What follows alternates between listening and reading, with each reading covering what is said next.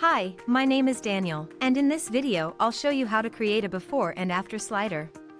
And add it to a Squarespace website. Let's get started. The before and after slider is a great addition to any website.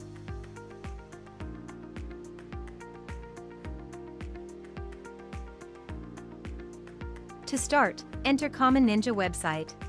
Choose your widget from our large collection of widgets. And once you've entered the widget page, click on the Create button to enter the editor.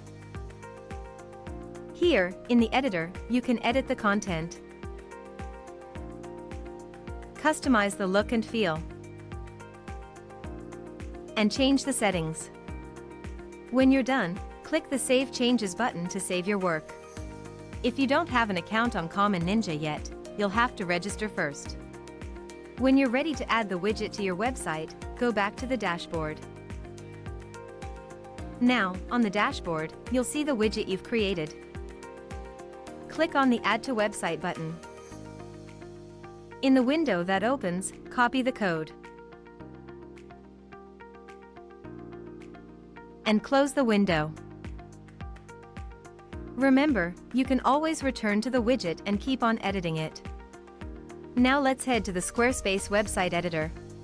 Please note, the option to embed code is only available for Squarespace Premium users. In the Squarespace editor, click on the Add Block button. Find the code block and click on it. Place the block wherever you wish on your website. Click on the Blocks Edit button. Here, in the window that opens, simply add the widget's code you've copied before.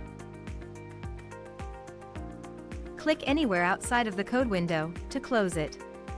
The widget's content will show on the preview or the published site. Click the Save button to apply the changes. And that's it. Now, the before and after slider will show on your website.